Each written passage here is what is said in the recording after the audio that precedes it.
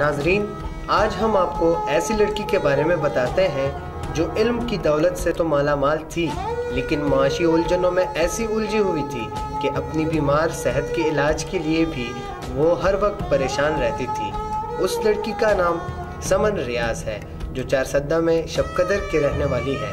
سمن ریاض کے خاندان کو اگرچہ معاشی مشکلات کا سامنا تھا، لیکن اس کے باوجود سمن کو معیاری تعلیم کے حصول میں کوئی کسر باقی نہ رہنے دی سمن نے ایف اے اور بی اے کی ڈگریاں چار سدہ کے تعلیمی اداروں سے حاصل کی بی اے کے بعد سمن کو سوات کے ایک سکول میں استانی کی نوکری ملی، جس کی خبر سنتے ہی سمن کے خاندان میں خوشی کی لہر دوڑ گئی کہ اب خاندان کے معاشی پہیے کو چلانے میں سمن کا بھی ہاتھ ہوگا اور تھا بھی ایسا، وقت کو زرتے دیر نہیں لگتی اور یہی ہنستے مسکراتے ہوئے خاندان کو اس وقت پریشانیوں نے گیل لیا جب سمن ایسی بیماری میں مبتلا ہوئی کہ جس کی وجہ سے اس کو اسکول کی نوکری کو خیر آباد کہنا پڑا۔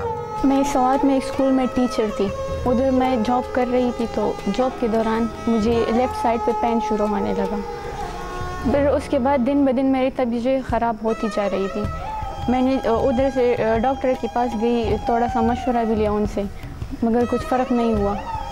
پھر میری طبیعت اتنی زیادہ خراب ہو گئی کہ مجبوراً مجھے جاب چھوڑنا پڑا۔ اس کے بعد میں نے جاب چھوڑ دیا اور اپنے گھر واپس آ گئی۔ جب گھر واپس آ گئی تو طبیعت بہت زیادہ خراب تھی۔ ایک دن میری خالہ آئی ہوئی تھی۔ تو میرے خالہ نے مجھے بتایا کہ کیا ہوا ہے آپ کو؟ تو پھر میں نے ان کو بتایا کہ اس طرح مجھے لیفٹ سائڈ پہ پین جو ہے وہ شروع ہونے لگا ہے۔ تو اس نے مجھ سے کہا کہ اسی طرح کا پرابلم مجھے بھی تھا۔ ایک مہینے پہلے میرے سر میں بہت زیادہ درد ہو رہا تھا۔ میں پشاور بھی چلی گئی۔ یہاں وہاں سے بہت سارا علاج کروایا، مگر ڈاکٹر سمجھ نہیں پا رہے تھے کہ کیا وجہ ہے۔ پھر وہ کہہ رہی تھی کہ میں ایک دن شیخ کلی کے ہاسپٹل میں چلی گئی ڈی مار سی۔ ادھر کے ڈاکٹرز نے جی میرے ٹیسٹ کروائے تو اس سے پتہ چلا کہ اس کو ٹیومر ہے۔ تو اس نے مجھ سے کہا کہ ایک دن میں آؤں گی تم میرے ساتھ ڈی مار سی چلی جانا۔ تو پھر ایک دن وہ ہمارے گھر آئی اور ہم ڈی مار سی کے لیے روانہ ہو گئے۔ جب ہم مین گیٹ پہ پہنچ گئے تو میں نے جب باہر سے ہاسپٹل کی بلڈنگ کو دیکھا تو بہت ہی خوبصورت بلڈنگ تھا۔ میں نے دل میں سوچا کہ یہ بلڈنگ اتنا پیارا ہے۔ تو اس کے اندر موجود لوگ جو ہے وہ کتنے اچھے ہوں گے۔ جیسے ہی میں گیٹ پہ انٹر ہو گئی تو میری طبیعت اتنی خراب تھی کہ میں چل ہی نہیں سکتی تھی۔ جب میں نے دیکھا تو گیٹ کے پاس جو ہے وہ پیشنٹ کے لیے ویل چیئر پڑی ہوئی تھے۔ تو پھر میرے خالہ نے ویل چیئر پہ مجھے بٹھا کے اندر ہاسپٹل میں لے کے گئی۔ ہاسپٹل میں آئی تھی، جب میں آ رہی تھی تو راستے میں میں نے دیکھا کہ اسٹاف کے لوگ جو ہیں وہ بہت رسپیکٹیبل تھے۔ اس نے ہماری بہت ہمارا بہت خیال رکھا۔ جب ہم ریسیپشن پہ پہنچ گئیں تو وہاں پہ ہم نے سلپ بنوایا۔ سلپ بنوانے کے بعد پھر ہم ڈاکٹر کریم کے پاس چلی گئیں ڈاکٹر کریم نے میرا چیک اپ کروایا ایکس رے بھی کروائی ٹیسٹ بھی لکھ کے۔